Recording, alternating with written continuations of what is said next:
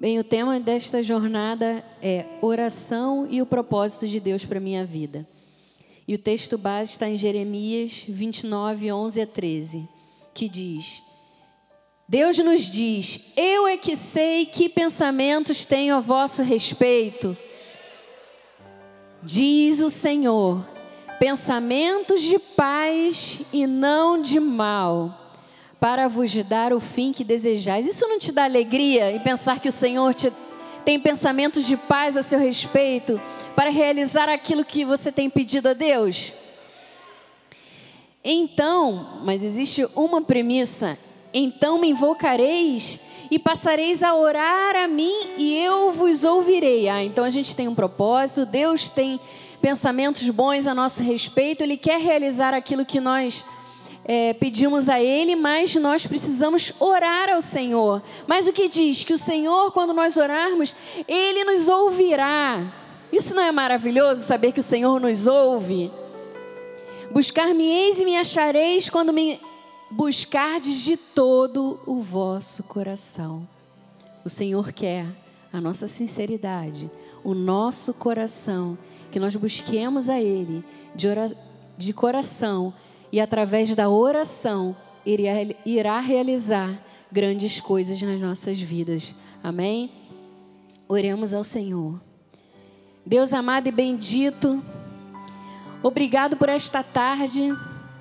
Obrigado, Senhor, porque tu tens colocado propósitos no nosso coração e nós já sabemos que o Senhor tem ouvido as nossas orações e o Senhor irá realizar cada sonho que o Senhor colocar nos nossos corações.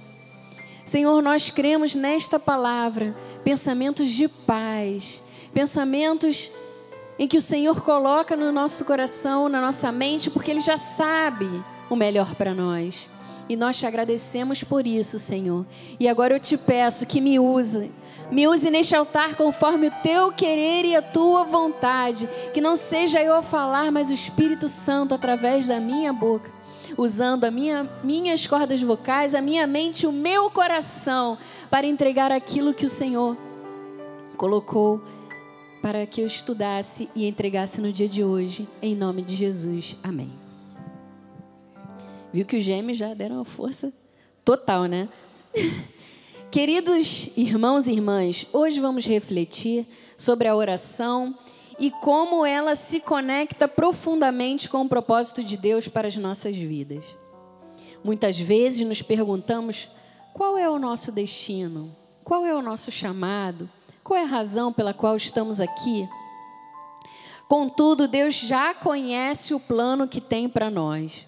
O caminho para descobrirmos este plano é por meio da oração, pois a oração nos alinha ao coração de Deus e nos revela a sua vontade.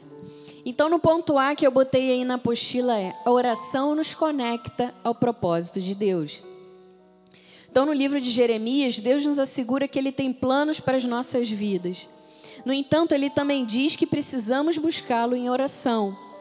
Quando oramos, nossos corações e mentes são realinhados ao plano perfeito de Deus. A oração é o meio de Deus que Deus soberanamente escolheu para nos revelar o seu propósito. Então, como exemplo, nós temos Jesus no Getsemane. Jesus, sabendo o propósito que o aguardava, a cruz, buscou o Pai em oração no jardim do Getsemane. O que, que diz lá em Mateus 26, 39? Adiantando-se um pouco, prostrou-se sobre o seu rosto, orando e dizendo: Meu Pai, se possível, passa de mim este cálice. Todavia não seja como eu quero, e sim como tu queres. Jesus sabia que a vontade de Deus era o caminho da cruz, mas por meio da oração ele se fortaleceu, ele fortaleceu a sua obediência ao propósito divino. Quando oramos como Jesus, aprendemos a submeter os nossos desejos à vontade de Deus. Assim como o exemplo de Jesus, precisamos buscar Deus em oração para entender e aceitar seu propósito para nós, mesmo quando este parece difícil ou desafiador. Muitas vezes nós temos propósitos que são difíceis, mas nós precisamos passar por eles. Então a oração é uma ferramenta que nos ajuda a nos fortalecer e continuarmos obedientes a Deus, continuarmos perseverantes, sabendo que passando aquele momento difícil, nós vamos ter coisas melhores. Né? Jesus passou pela cruz, mas ele ressuscitou no terceiro dia. Ele não está morto, ele está vivo. Então muitas vezes nós passamos por momentos difíceis, mas são momentos passageiros. E depois disso, vem coisas boas para nossas vidas, vem livramentos, vem milagres, vem situações, como nós passamos na situação né, do acidente de carro, mas nós tínhamos ali uma promessa que o Senhor tinha para nós. Então nós confiamos, nós passamos por aquele momento difícil e depois passamos por exames, está tudo bem, está tudo tranquilo. A promessa do Senhor irá se cumprir independente de qualquer situação. Então nós precisamos crer e precisamos usar a oração como uma ferramenta para nos manter firmes. O ponto número dois, oração, diálogo transformador. A oração não é um monólogo, mas um diálogo. É um diálogo de Deus com seus filhos. É importante que ao orarmos estejamos abertos para ouvir o que Deus tem a nos dizer. Muitas vezes estamos tão focados em apresentar as nossas petições que esquecemos de parar para ouvir a direção de Deus. Então é importante nós orarmos nosso momento de, de devocional, de oração a Deus, mas também nós nos silenciarmos para ouvir aquilo que o Senhor coloca em nosso coração, aquilo que é a vontade do Senhor para nós. Né? Eu tenho sempre falado no culto da série do fruto do Espírito, né, que a oração, quando nós oramos e nós temos paz no nosso coração, significa que aquilo é um desejo do Senhor para nós. Mas quando nos causa dúvida, nos causa agitação, nós devemos repensar. Porque a dúvida vem do maligno. Então o apóstolo sempre fala: na dúvida, não faça. Mas se você está orando, se você sente paz no seu coração, se o Senhor confirma no seu coração, significa que você deve seguir em frente. Então nós precisamos dar esse tempo ao Senhor para que Ele nos responda em oração. Então, exemplo de Samuel, Samuel, o profeta Samuel, ele ainda era uma criança. Eu nos estudos que eu pesquisei, dizia que ele tinha por volta de 12 anos quando ocorreu é, essa situação que se passa no versículo.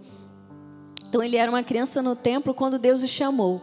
Samuel não reconheceu de imediato a voz de Deus, mas após a orientação de Eli, ele entendeu o chamado. Então o que diz ali em 1 Samuel 3? Por isso ele disse a Samuel: Vai deitar-se, se alguém te chamar, dirás: Fala, Senhor, porque o teu servo ouve. E foi Samuel para o seu lugar e se deitou. Então veio o Senhor e ali esteve e chamou como das outras vezes: Samuel, Samuel. Eis respondeu: Fala, porque o teu servo ouve. Então Samuel depois percebeu que era a voz do Senhor, né? E eu achei interessante que eu nem botei na mensagem, mas eu achei interessante citar que no versículo 7, né, de 3, 7, diz que Samuel ainda não conhecia o Senhor e ainda não lhe tinha sido manifestada a palavra do Senhor. Então ele não reconheceu o Senhor porque ele ainda não tinha experiências com o Senhor. Então, a partir do momento que nós temos experiências com o Senhor, Ele vai nos habituando a nós percebemos quando Ele está falando conosco. Que não significa que seja uma voz audível, mas a palavra vinda do altar, a oração, a confirmação no nosso coração, uma palavra de um bispo para a nossa vida. Então, existem várias formas que o Senhor fala. Então, a experiência nos faz ter esse conhecimento. Ou essa palavra que me falaram, isso não vem de Deus. Eu não tenho paz no meu coração. Não, essa palavra vem de Deus, porque eu estou tranquilo. Confirmou aquilo que eu já tinha orado. Né? Assim, quando alguém chegar com uma palavra para você, né, é, tem que confirmar aquilo que você já tem orado ao Senhor em secreto.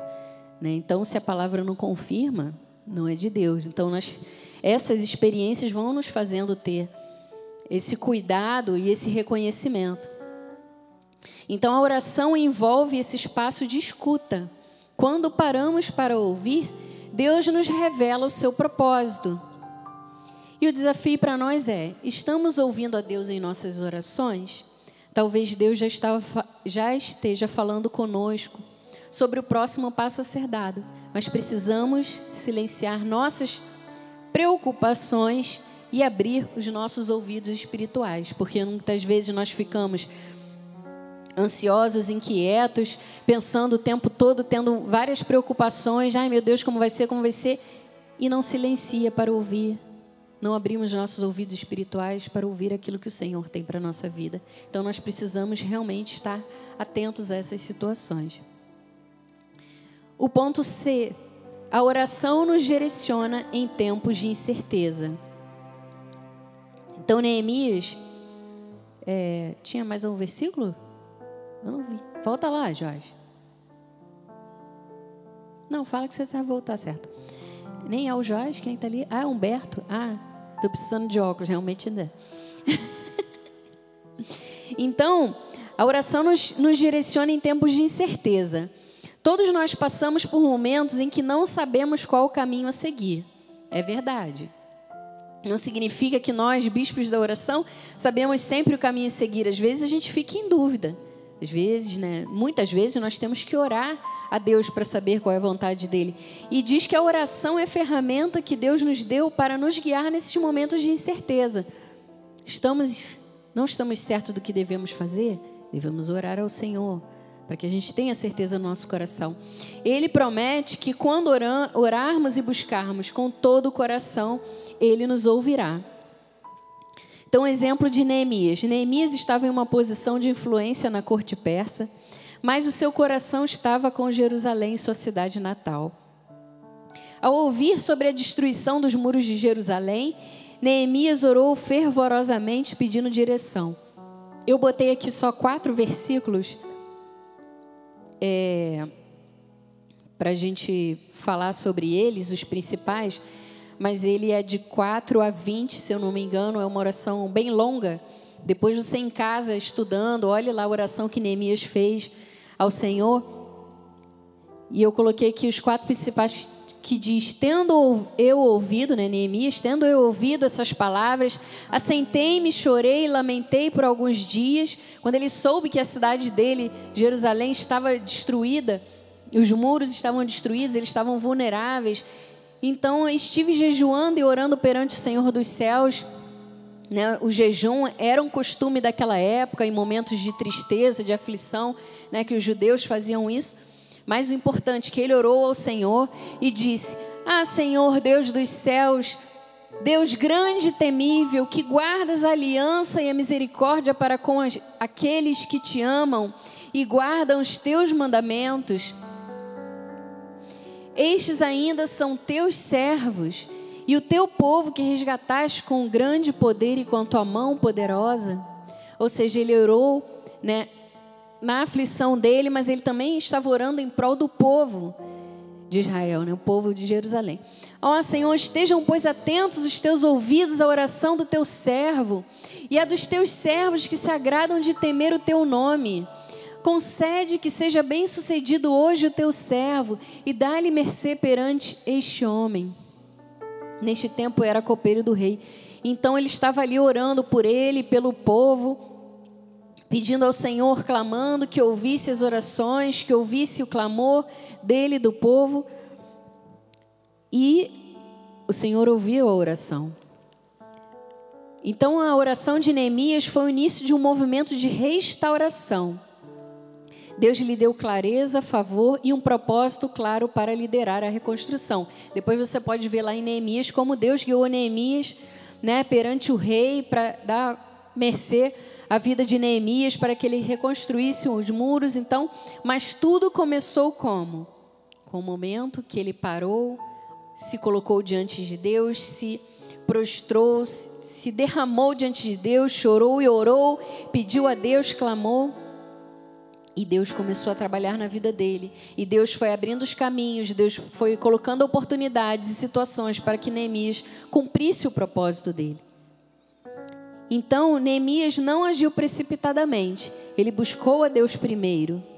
Em momentos de incertezas em nossas vidas, quando não sabemos qual carreira seguir, qual decisão tomar, ou até mesmo questões familiares, precisamos fazer como Neemias, orar antes de agir, e Deus nos dará a direção certa, porque muitas vezes nós agimos primeiro e depois vamos orar e, dizer: Senhor, me livra dessa situação. E Deus fala: Você se colocou nessa situação. Claro que Ele vai dar o livramento, mas nós precisamos orar antes de agir, para que o Senhor nos dê a direção correta. E o ponto D, a oração alinha o nosso coração com a vontade de Deus. Então, muitas vezes oramos com nossos próprios desejos e vontade. Porém, à medida que oramos, Deus começa a transformar nosso coração para que desejemos o que Ele deseja para nós. Então, nós temos exemplo de Paulo e a sua missão. Vamos, Humberto. E diz em Atos 16,6: E percorrendo a região frígio-gálata, tendo sido impedidos pelo Espírito Santo de pregar a palavra na Ásia, defrontando Mísia, tentavam ir para Bitínia Olha, amor, que nomes bonitos se forem gêmeas meninas. Mísia e Bitina, Bitínia. Mas o Espírito de Jesus não permitiu. E tendo contornado Mísia, desceram a Troade. À noite sobreveio Paulo uma visão na qual um varão da Macedônio estava em pé e lhe rogava, dizendo: Passa a Macedônia e ajuda-nos. Assim que teve a visão, imediatamente procuraram partir para aquele destino concluindo que Deus os havia chamado para lhes anunciar o Evangelho. Então, Paulo queria pregar na Ásia, mas o Espírito Santo o impediu e o guiou à Macedônia. Paulo era um homem de oração e, por estar em constante diálogo com Deus, foi capaz de discernir a direção correta para a sua missão.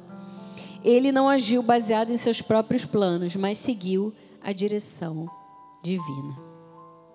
Deus muitas vezes nos direciona em nossas orações. Precisamos estar abertos a isso, permitindo que Ele mude nossos planos para, seu, para que seu propósito seja cumprido. Muitas vezes nós precisamos o que? Ser flexíveis, realinhar nossos planos, realinhar as nossas vidas para aquilo que o Senhor tem para nós. Às vezes nós pensamos que é uma coisa, que vai ser uma coisa, e de repente muda outra. E nós precisamos estar abertos a isso.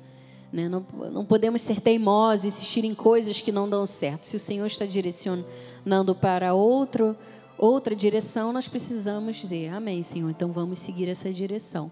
Vamos ser obedientes ao Senhor. E o ponto é, é a persistência na oração. Por vezes, o propósito de Deus para as nossas vidas não se revela de imediato. É necessário perseverança em oração. Então, tem o exemplo de Ana, também tem uma oração extensa que ela faz, mas eu coloquei só os principais quatro versículos, depois vocês podem é, ler a passagem inteira. Mas diz então, Ana, mãe de Samuel, é um exemplo poderoso da persistência na oração. Ela orou por muitos anos para que Deus lhe desse um filho. Então, 1 Samuel 1, 10, 11.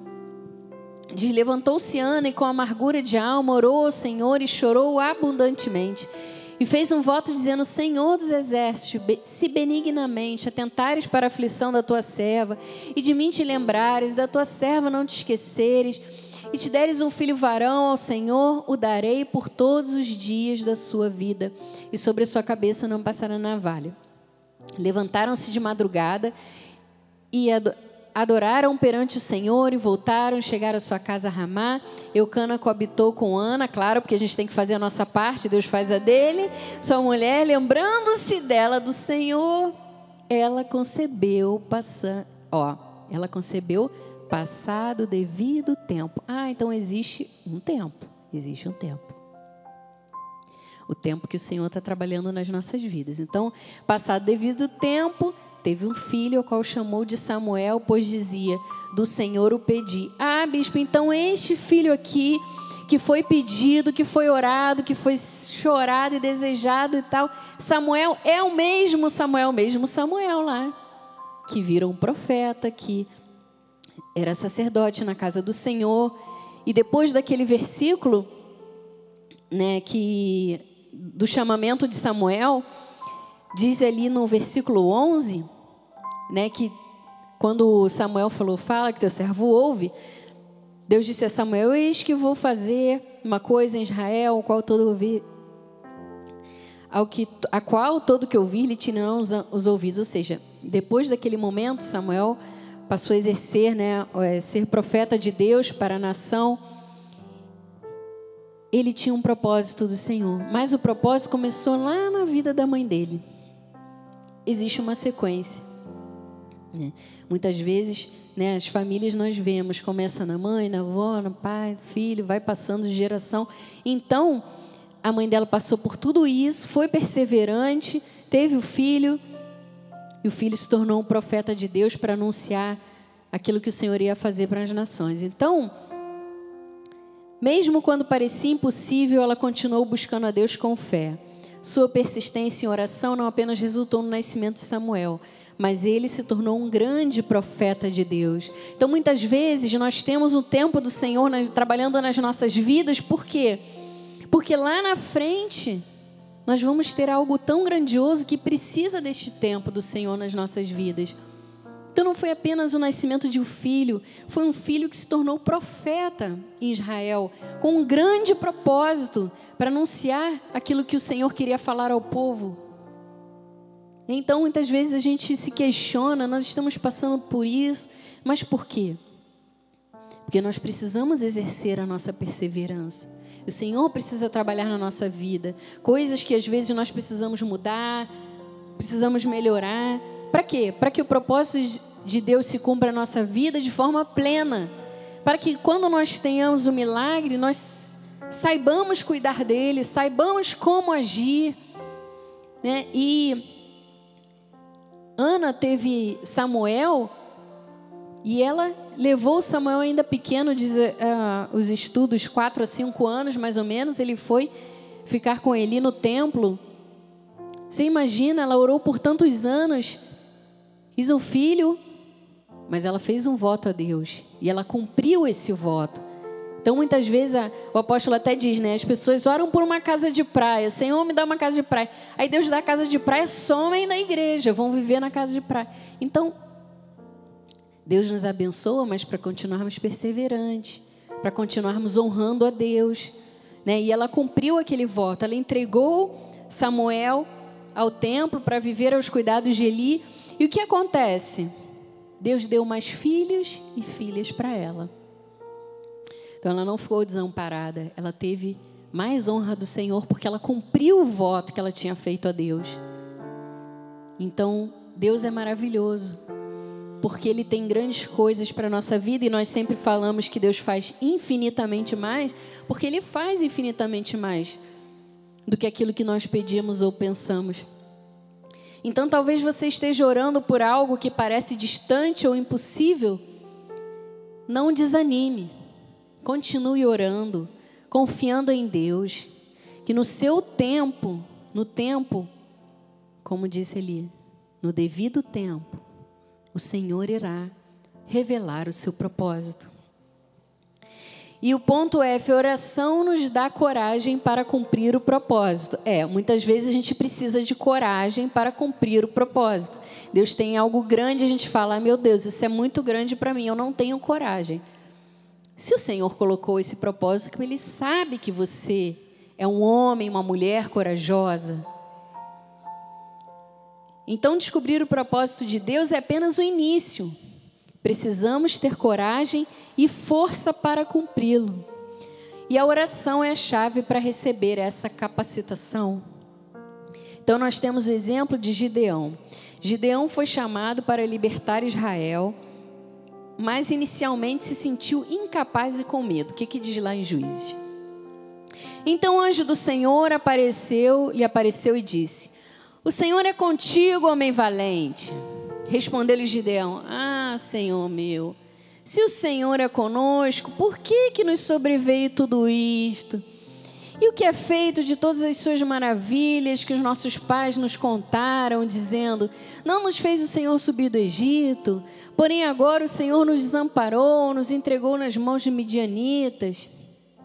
Então se virou o Senhor para ele e disse: Vai nessa tua força, ô meu filho, pô, tô te mandando, tô te falando, vai. Livra Israel das mãos midianitas, Porventura eu não te enviei, não te enviei eu. Eu estou te enviando, eu estou te dizendo que eu te fortaleço, que eu te guio, que eu te ajudo, que eu sou com você, que você é mais que vencedor. E ele disse: Ah, Senhor meu, como livrarei Israel? Gente, a nossa mania como ser humano é tentar entender tudo que Deus vai fazer. A gente não vai entender tudo que Deus vai fazer. A gente vai entender uma parte. Talvez uma pequena parte. Lá no céu a gente vai entender o resto. Então a gente tem que confiar. Eis que a minha família é mais pobre de Manassés, eu o menor da casa de meu pai. Tornou-lhe o Senhor. Não é a sua força, é a minha força em você. Já que eu estou contigo, o Senhor está com você ferirás os medianitas como se fossem um só homem. Entenda, não é a nossa força, não é a nossa humanidade, não é o nosso entendimento, é a força do Senhor conosco, é aquilo que o Senhor fez por nós, é a força dele nas nossas vidas, porque nós somos humanos, nós somos pó, nós somos falhos, mas é o Senhor que está conosco. Amém. Glórias a Deus. Então diga: O Senhor está comigo. Eu posso todas as coisas naquele que me fortalece.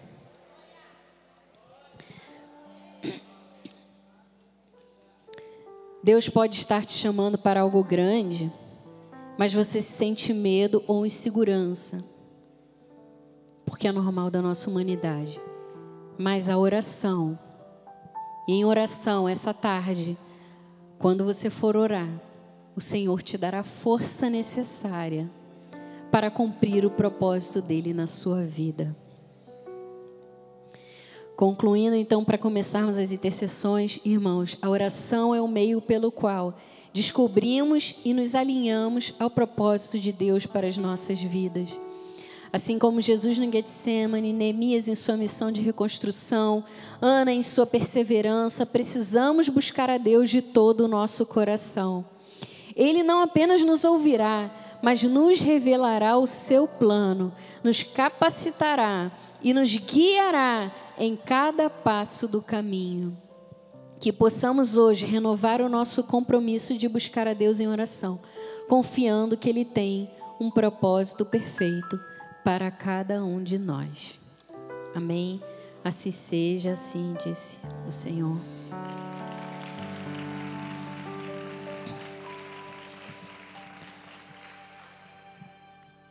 Senhor, meu Deus e Pai, obrigado, Senhor, por esta palavra. Nós recebemos, Senhor, a tua capacitação, a tua força, o teu entendimento, a tua paz para seguirmos os propósitos que soberanamente preparaste para nós, Senhor. Eis-nos aqui agora, neste momento de intercessão que vamos iniciar. Eis-nos aqui, Senhor, totalmente rendidos a Ti, rendidos à Tua palavra, aos Teus ensinamentos, Senhor, buscando a Ti de todo o nosso coração, com todas as nossas for forças, crendo que o Senhor já está trabalhando em nós para que o seu propósito seja realizado em nossas vidas. Em nome de Jesus. Amém. Gostaria de chamar os intercessores, Bispo Ludmila, Bispo Pastor Renato, Pastor Robson.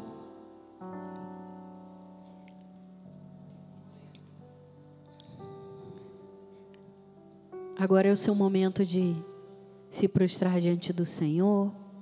Como você quiser ficar de, de pé, sentado, andar pela igreja. De intimidade com Deus, em nome de Jesus.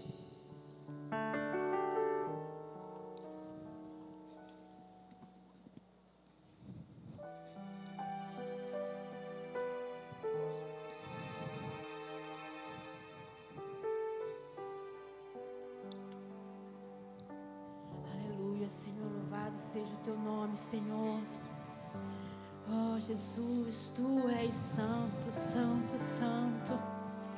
Oh, Deus bendito, exaltado é o teu nome, Senhor. Deus único, Deus invisível, mas é real.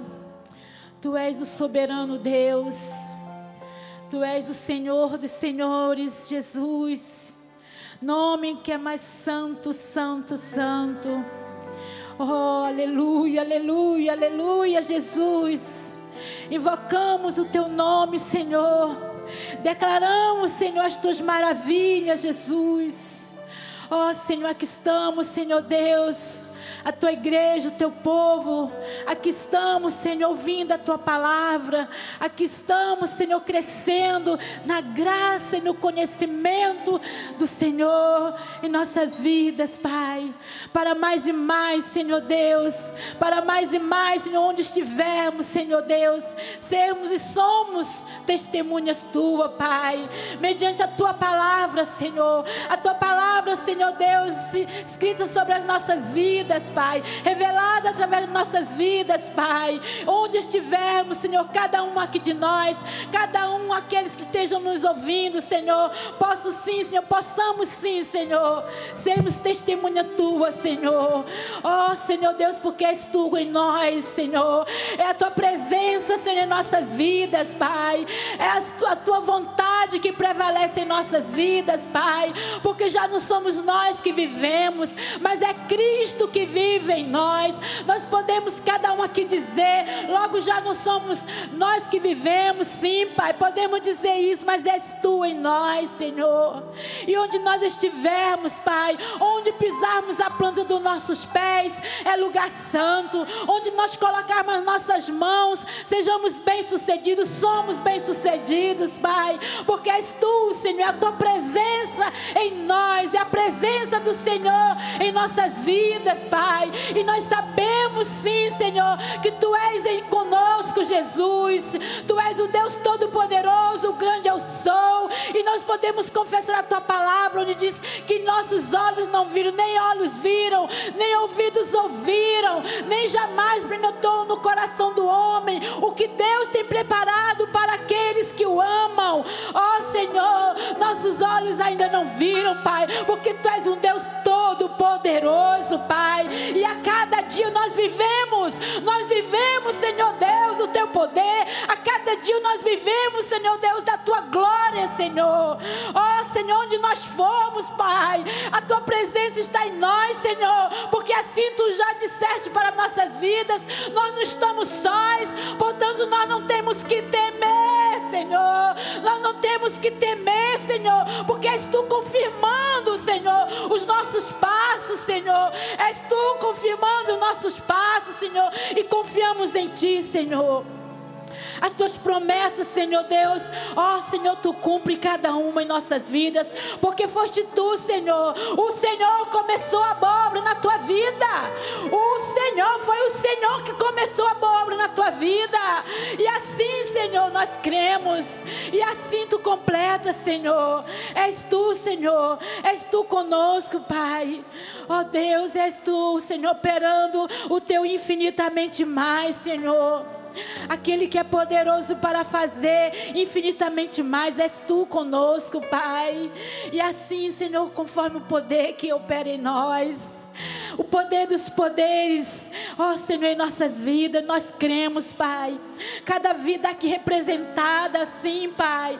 Ó Senhor, cada mulher, cada homem, Senhor, cada um de nós aqui somos fortes, somos ativos, somos povo, teu povo perseverante, que não desistimos, não desista do que o Senhor já colocou tu, no teu coração. Não desista, porque Ele é fiel, foi Ele que colocou em teu coração. Portanto, porque você não tenha que ficar com dúvida. Porque o Senhor, Ele completa. É o Senhor que vai agir. É o Senhor que vai confirmar. E assim tu verás a glória de Deus na tua vida. Mantenha firme a sua confiança no Senhor. Mantenha firme. Mantenha firme a palavra confessada pela tua boca. É a palavra que não volta vazia. É a palavra do Senhor.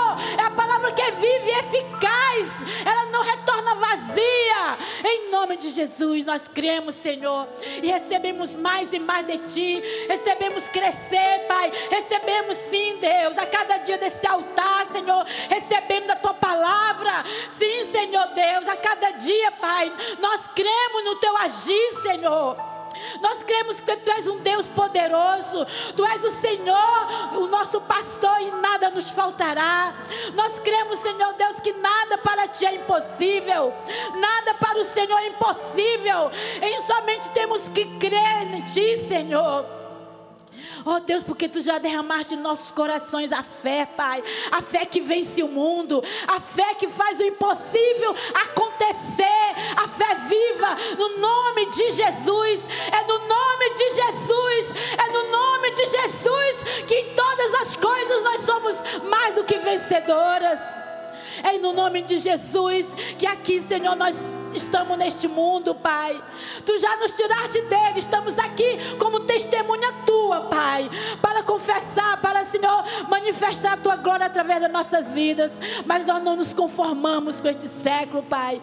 Ó oh, Deus, estamos aqui, Senhor, a cada dia, Senhor, para sermos, Senhor Deus, ó oh, Senhor, luzeiros neste mundo, Pai, que somos luzeiros neste mundo, cada vida aqui, Senhor.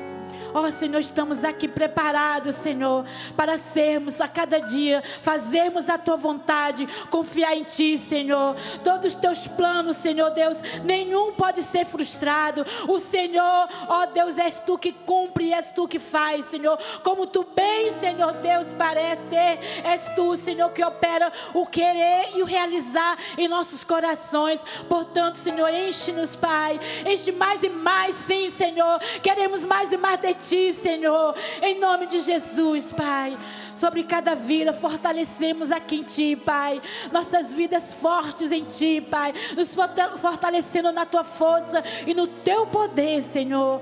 Em nome de Jesus, em nome de Jesus, queremos sim, Deus. Ei-nos aqui, Senhor. Nossas vidas é para Ti, Senhor. Nossas vidas é para testemunhar de Ti, Senhor. Ei-nos aqui, Senhor. Queremos sim, Senhor. A cada dia ouvirmos e termos sim, Senhor, discernimento da tua voz em nosso coração, Pai, e obedecermos a tua voz, obedecermos teus princípios em nossas vidas, Pai, a cada dia, Senhor, em nome de Jesus, em nome de Jesus, assim nós oramos com fé, em nome de Jesus, aleluia, amém. Amém. Senhor, nosso Deus. Não há nada na nossa vida, Senhor, que o Senhor não saiba, que o Senhor não conheça. Sabemos, ó Deus, que há pessoas neste momento que estão pela internet, outros aqui dentro do teu santuário, que se encontram enfermos, precisando, ó Deus, de uma solução. Nós sabemos, ó Deus, que nada passa despercebido aos teus olhos. Que o Senhor nos conhece do alto da cabeça à planta dos nossos pés. Nós queremos te pedir essa tarde, Deus, interceder por aqueles que se encontram no hospital, por aqueles, ó Deus, que ouviram uma palavra de um médico que não tinha mais jeito, que não tem mais solução. Sabemos que aqui dentro há pessoas com saúde,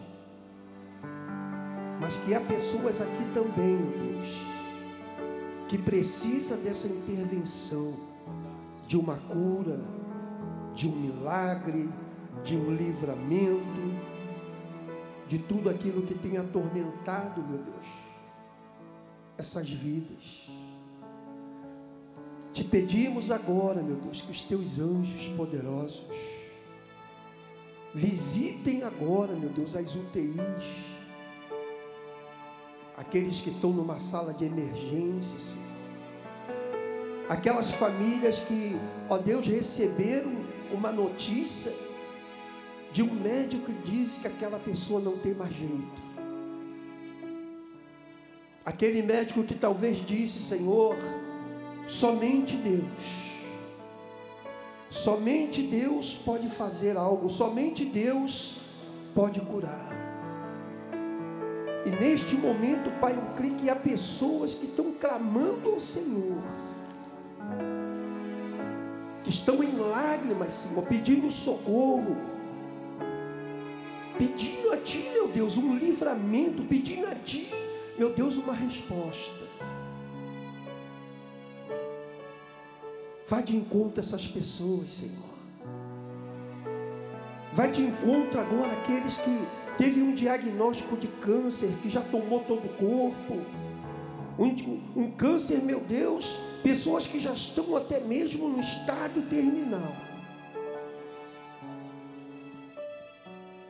E que essa pessoa, essa família já não sabe mais o que fazer, já se entregou a esse diagnóstico já se entregou, meu Deus, a esse comunicado. Mas nós sabemos, ó Deus, que tu podes reverter uma situação. Nós cremos, ó Deus, que o Senhor pode, ó Deus, transformar esse diagnóstico de morte, o Senhor pode trazer a vida. Assim como foi com Lázaro, Pai e humanamente falando, já estava morto, já estava cheirando mal, já estava podre.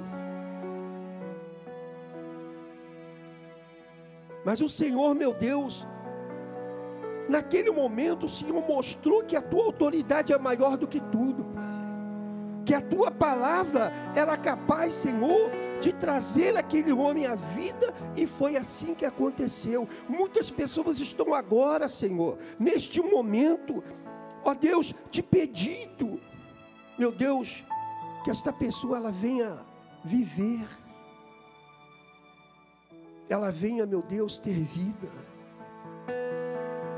Meu Deus, olha por essas pessoas agora, Senhor. Ora, pessoas, meu Deus, que foi desenganada, meu Deus, com um tumor no cérebro, Deus. Que para a medicina não há mais jeito, não tem mais solução, mas nada é impossível para ti. Nada é demasiadamente mais bonito para ti, Senhor. Não há, meu Deus, o homem ele pode dar o diagnóstico dele, porque ele estudou a medicina, mas o Senhor, meu Deus, é o Senhor que sobrepõe a tudo. O Senhor pode mudar uma situação, o Senhor pode tirar essa pessoa do monturo, da morte e trazer ela para a vida. O Senhor pode agora, meu Deus, reverter essa situação. Uma pessoa que tem um problema, meu Deus, na coluna, as suas vértebras, meu Deus, aquela pessoa que tem cegueira. Aquela pessoa, meu Deus, que está surda, ela tem um problema de surdez, Pai. A Bíblia nos relata de quantos milagres o Senhor fez. De curar o cego, de curar o surdo, de, meu Deus, fazer com que o paralítico viesse andar. Não há impossíveis para ti, Senhor. Não há impossíveis para ti. Nós cremos num Deus que pode tudo.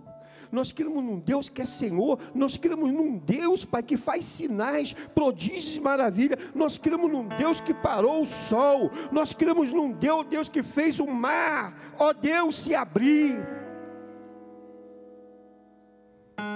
Nós cremos num Deus, Senhor, que pode reverter qualquer situação.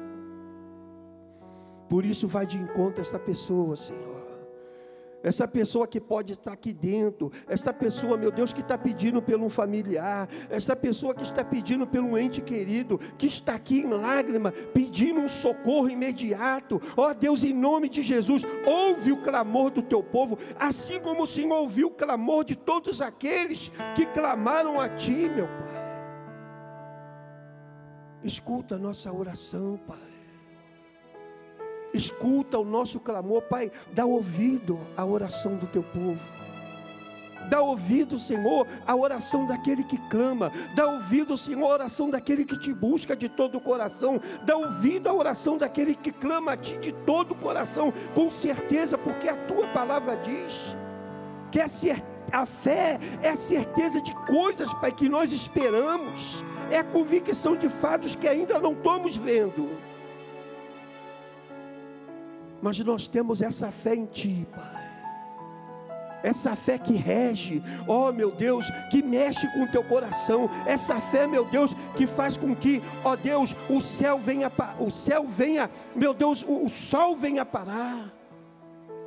A água, Senhor, ela venha cessar. Pai, é essa fé que nós temos em Ti, Pai. Nós queremos ver testemunhos. Nós queremos ver pessoas chegando falando: Deus agiu, Deus fez na minha vida, Deus me curou. Ó oh, Senhor, age. Age em nosso meio. Aqueles que pela a noite, Senhor, trarão os seus nomes. Ó oh, Deus, com pessoas que estão doentes, Pai, tantos testemunhos que tem acontecido na tua casa. Isso prova o teu agir, isso prova, meu Deus, que o Senhor é fiel, isso prova que o Senhor transmite cura. Isso prova, meu Deus, que o Senhor ouve a oração do teu povo. Por isso eu te entrego essa oração, Pai. Te entrego esse pedido neste momento. Em nome de Jesus, Pai. Que se faça, meu Deus, a tua, a tua, Senhor, a tua vontade. É o que nós te pedimos em nome de Jesus. Amém, Senhor.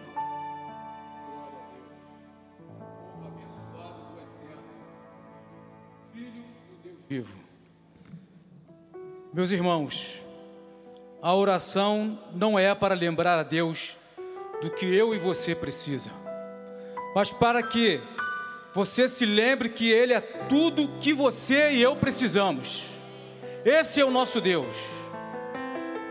E esse ministério tem essa responsabilidade de nos capacitar, de nos colocar em nossos corações a grandeza do seu poder em nós. E por isso que não há nenhuma situação contrária na sua e na minha vida que possa prevalecer, porque o nosso Deus é maior. Nós acreditamos que Deus é conosco. O nosso Senhor é conosco em tudo que nós passamos. Meus irmãos, acaso que só o céu pode resolver? todos os nossos problemas e dificuldades. Há momentos, sim, que a terra faz pelos homens, mas para nós que acreditamos na soberania de Deus, que é falado nesse altar, para nós, só Jesus Cristo pode remover todo problema por completo. Você tem que acreditar nisso, meus irmãos, porque pelas suas chagas nós fomos sarados, como ele falou aqui pela sua provisão, Ele abre as portas dos céus. Meus irmãos, saiba que você está no lugar certo, diante de uma liderança que nos ensina a ser sábios e ter confissão. Esse é o lembrete que essa igreja leva e coloca nos nossos corações. O que mais nos preocupa, preocupa o diabo não é a casa, é o céu dentro da sua casa. Então, meus irmãos, você é um, um bendito do Senhor, você é um abençoado do Senhor. Aqui você vem para essa casa, chamado Casa de Deus, para proclamar a sua virtude e receber o melhor dele na sua vida e da sua parentela. Se você nesse momento tem um filho nas drogas, use a autoridade que está em você Diga, ele não pertence mais a essa droga. Quem tenta contra a sua vida não pode, porque o maior que está em nós, que é o Senhor, e por a tua confissão chegará na vida do seu filho. Se tu tem um parente que bebe, diga a mesma coisa, ele está liberto pelo poder do nome de Jesus. Creia nisto, meu irmão. Creia nisto, porque o Senhor é bom. Ele faz o melhor por nós. Ele sabe o que nós necessitamos. Então, meus irmãos, para terminar, tenha essa certeza dentro do seu coração, que quando você se desloca para essa casa, você vem nutrir de conhecimento, para que a sua vida, a cada dia, você vai marchando para a vitória. Assim, meu irmão, recebe isso no seu coração. Deus é contigo, o Senhor é contigo, e crê nisso, Amém? Louvado seja o nome do Senhor.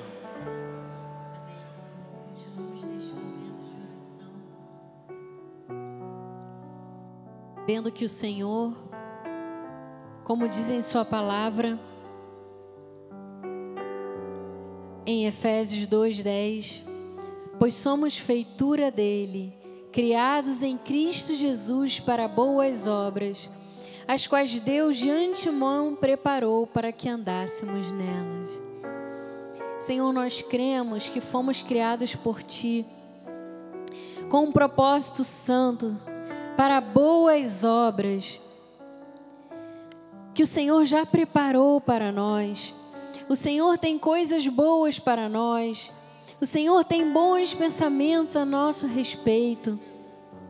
Por isso nós declaramos, Senhor, no dia de hoje, sendo manifestado nas nossas vidas, Senhor, como exemplo de Jesus no Getsemane, possamos ser perseverantes em meio às dificuldades e às provações.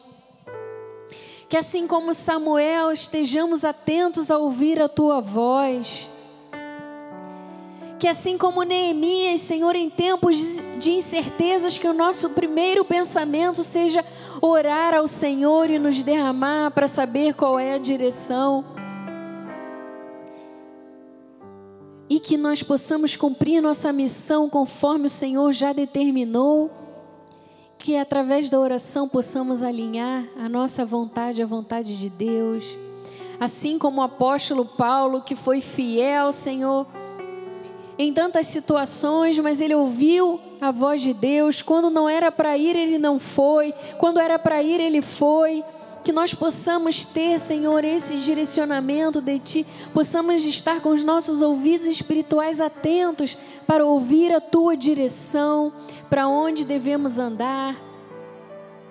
Que nós possamos, Senhor, ser perseverantes como Ana, que ano após ano orou por um propósito, que nós possamos ser persistentes nos nossos propósitos, que nós não venhamos a desanimar diante das situações, mas que possamos ser perseverantes, tendo a certeza que o Senhor está trabalhando nas nossas vidas, tendo a certeza que há boas obras para nós cumprirmos, porque o Senhor já preparou, e tendo a certeza que irá se manifestar, que aquelas orações que, que temos perseverado, elas irão se cumprir, que o Senhor irá manifestar nas nossas vidas no tempo certo, no tempo oportuno, no tempo de Deus, que é o melhor para as nossas vidas.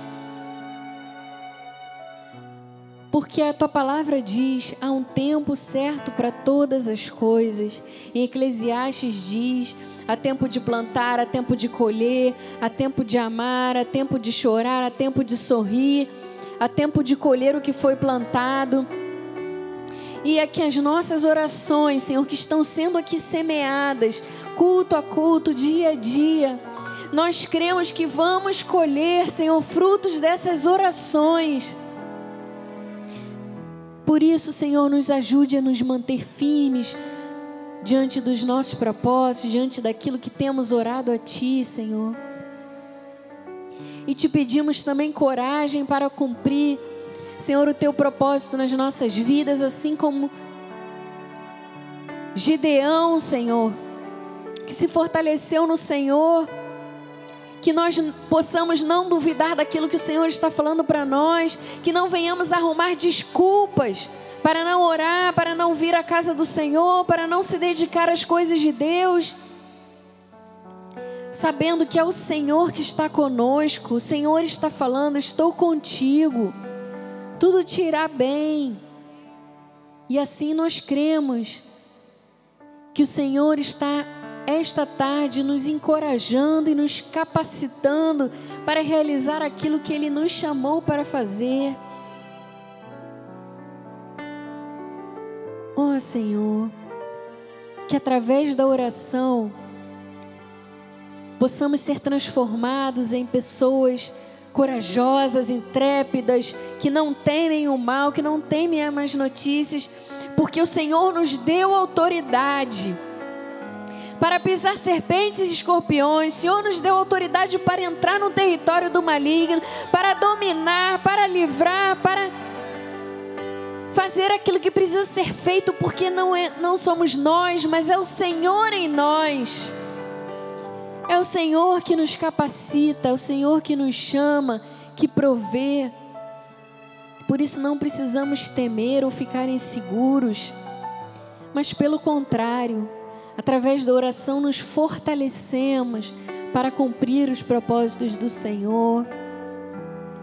E nesta tarde, Senhor, nós estamos aqui, lançando fora todo o medo, toda aflição, toda angústia, tudo aquilo que tentava nos aprisionar, tudo aquilo que tentava nos impedir de cumprir os nossos propósitos.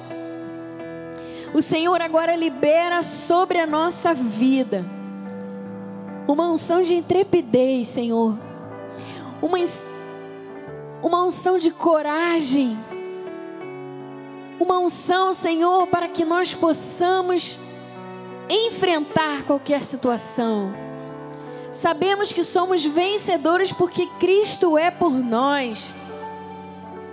E se o Senhor é por nós, ninguém pode ser contra nós. Porque maior é aquele que está em nós do que aquele que está neste mundo.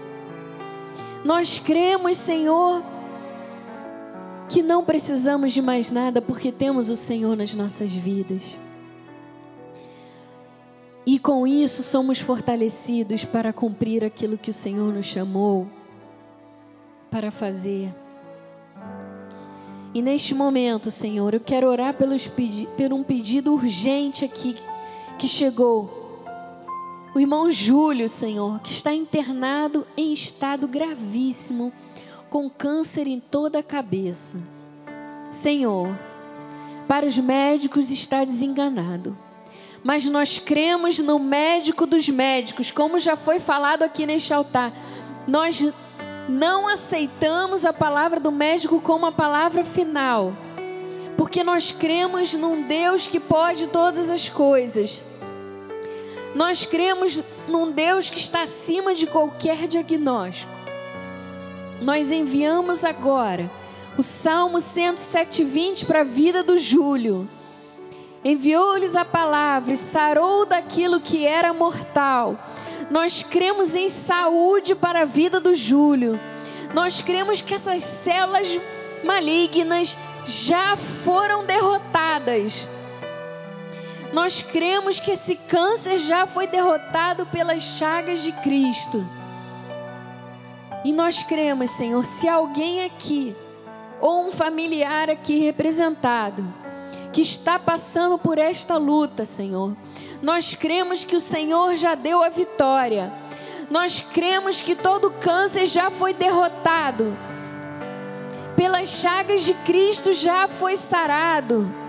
Nós cremos que veremos testemunhos, Senhor, como nós lemos na semana passada de uma irmã que estava com câncer no olho que o médico falou: tem que tirar o globo ocular. Mas Deus disse não. Eu farei o milagre. E ela repetiu os exames e foi em outros médicos e a cada segunda-feira orando, orando, orando. E chegou o diagnóstico: não tem mais câncer, não precisará precisou tirar o globo ocular, ficou curada, está saudável. O Senhor realizou este milagre, irá realizar muitos outros que nós veremos aqui porque o Senhor é um Deus bondoso que dá vida e vida em abundância. Assim nós cremos, Senhor, em nome de Jesus, oramos pelos pedidos urgentes. Cremos que o Senhor já deu a vitória. Cremos no milagre, cremos na provisão, cremos no livramento, cremos em saúde. Toda doença já foi derrotada. E assim nós cremos, Senhor, que veremos muitos milagres aqui que serão testemunhados, Senhor. É apenas o início de grandes coisas que o Senhor irá fazer no final deste ano. Assim nós cremos em nome de Jesus.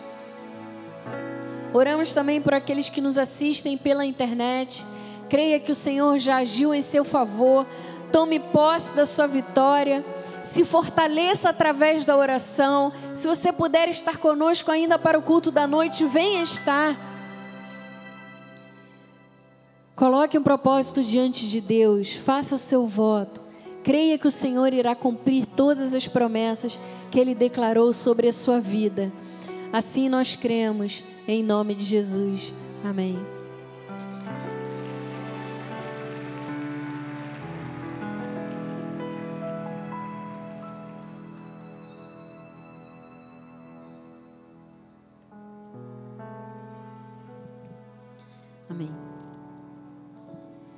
Dar a benção apostólica agora. Quem puder ficar um pouquinho mais conosco, estaremos cantando um hino e temos também um cafezinho com biscoitos aqui fora. Quem puder ficar conosco até o culto da noite, estaremos juntos em mais um momento de comunhão em nome de Jesus. Que a graça de nosso Senhor Jesus Cristo, o amor de Deus e as doces consolações do Espírito Santo estejam para sempre em nossas vidas. Damos olhos aos anjos de Deus que nos guarda e livre todos os nossos caminhos. Chegaremos em casa, quem precisar ir embora, em paz e segurança, guardados pelo Senhor. Quem continuar conosco, teremos momento de comunhão agradável, em paz. Porque nós cremos que este dia é um dia de santificação diante do Senhor. E assim nós recebemos, Senhor, e declaramos os propósitos do Senhor se cumprindo nas nossas vidas através das orações que foram hoje proclamadas em nome de Jesus. Amém.